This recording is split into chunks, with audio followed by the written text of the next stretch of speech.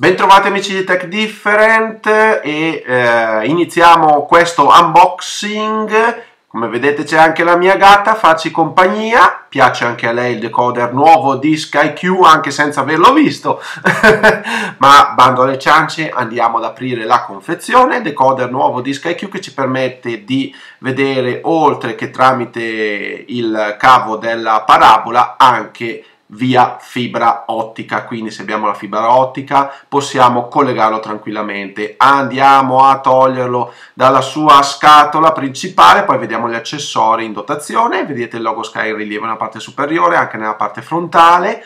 Nella parte inferiore troviamo quattro piedini, vedete com'è bello areato, la griglia per areare il decoder. Abbiamo tantissimi ingressi, ovviamente. Il primo ingresso, il tastino reset, poi abbiamo l'ingresso per eh, ovviamente collegare alla rete elettrica, l'ingresso USB, un ingresso HDMI, cioè un'uscita più che altro HDMI, l'uscita audio ottica, l'ingresso Ethernet, due ingressi per l'antenna satellitare e uno per l'antenna normale per vedere il nostro digitale terrestre.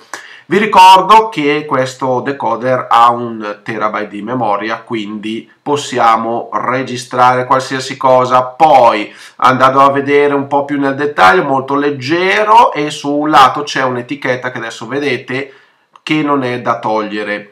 Per quanto riguarda invece gli altri accessori, ovviamente abbiamo tutte le guide, la Kickstart Guide classica, abbiamo, andandoli a togliere, le due batterie per il telecomando, che le appoggiamo un attimo qua, il telecomando in questo sacchettino, andiamo a toglierlo, il telecomando che vi ricordo è vocale, alla ricerca vocale, quindi possiamo cercare qualsiasi cosa, ma poi lo vedremo più approfonditamente nella nostra recensione.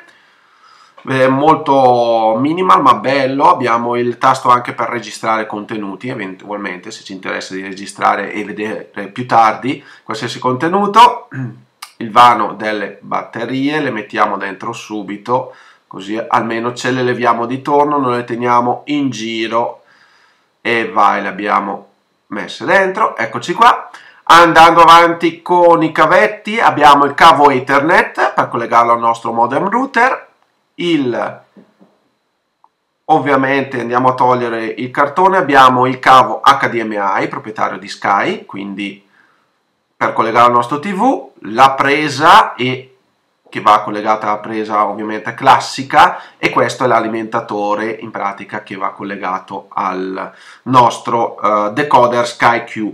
Bene, io direi che ho finito per questo unboxing di questo dispositivo decisamente eh, minimale, qui lo vediamo bene con tutti eh, access- i suoi accessori compresi nel pacchetto, quindi eh, andremo ora a testarne tutte le funzionalità, la configurazione iniziale che presumo sia molto molto semplice. Ci tengo a sottolineare che questo decoder è possibile utilizzandolo anche senza parabola se avete la fibra ottica. Basta attaccare il cavo Ethernet ed il gioco è fatto. Bene, non mi resta che ringraziarvi, salutarvi e rimandarvi al nostro prossimo video. Ciao a tutti e buona giornata!